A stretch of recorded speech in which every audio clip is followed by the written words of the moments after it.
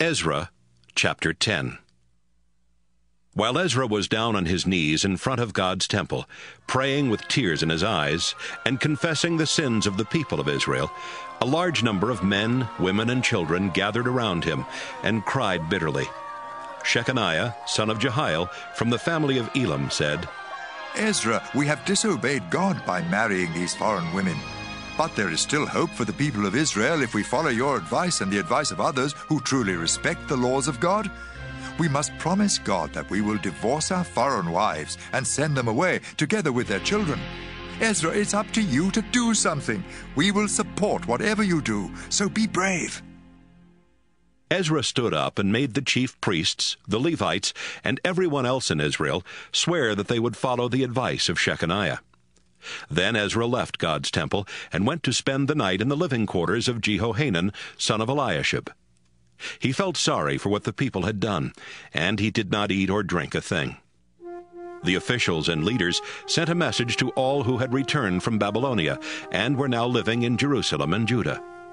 It told them to meet in Jerusalem within three days, or else they would lose everything they owned and would no longer be considered part of the people that had returned from Babylonia. Three days later, on the twentieth day of the ninth month, everyone from Judah and Benjamin came to Jerusalem and sat in the temple courtyard. It was a serious meeting, and they sat there, trembling in the rain. Ezra the priest stood up and said, You have broken God's law by marrying foreign women, and you have made the whole nation guilty. Now you must confess your sins to the Lord God of your ancestors and obey him. Divorce your foreign wives and don't have anything to do with the rest of the foreigners who live around here. Everyone in the crowd shouted, You're right, we'll do what you say. But there are so many of us, and we can't just stay out here in this downpour. A lot of us have sinned by marrying foreign women, and the matter can't be settled in only a day or two. Why can't our officials stay on in Jerusalem and take care of this for us? Let everyone who has sinned in this way meet here at a certain time with leaders and judges from their own towns. If we take care of this problem, God will surely stop being so terribly angry with us. Jonathan, son of Asahel, and Josiah, son of Tikvah, were the only ones who objected, except for the two Levites, Meshullam and Shabbethai. Everyone else who had returned from exile agreed with the plan. So Ezra the priest chose men who were heads of the families, and he listed their names. They started looking into the matter on the first day of the tenth month, and they did not finish until the first day of the first month of the next year. Here is a list of the priests who had agreed to divorce their foreign wives and to sacrifice a ram as a sin offering Maaseiah, Eleazar, Jarib, and Gedaliah, from the family of Joshua, son of Jozadak, and his brothers. Hanani and Zebadiah, from the family of Immer. Maaseiah, Elijah, Shemaiah, Jehiel, and Uzziah, from the family of Haram.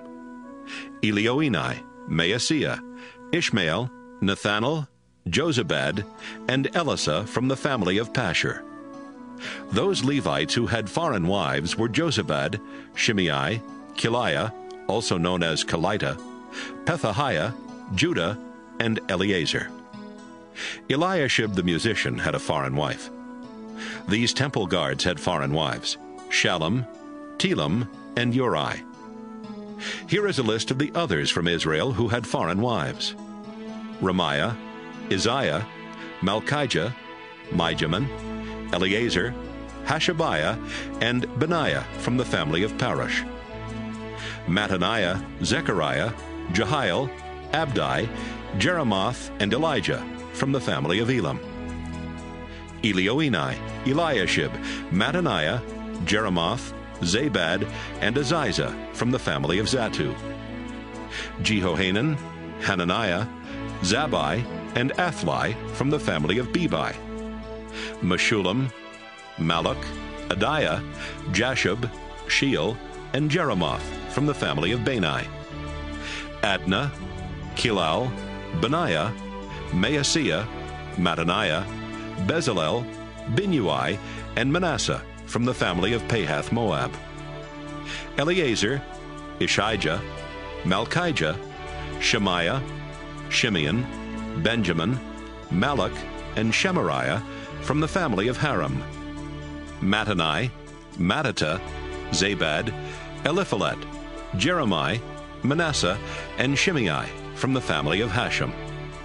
Maadai, Amram, Uel, Benaiah, Bedeiah, Cheluhi, Vaniah, Meremoth, Eliashib, Mattaniah, Mattenai, and Jaasu from the family of Bani. Shimei, Shelemiah, Nathan, Adaiah, Machnadebai, Shashai, Sharai, Azarel, Shelemiah, Shemariah, Shallum, Amariah, and Joseph from the family of Binnui.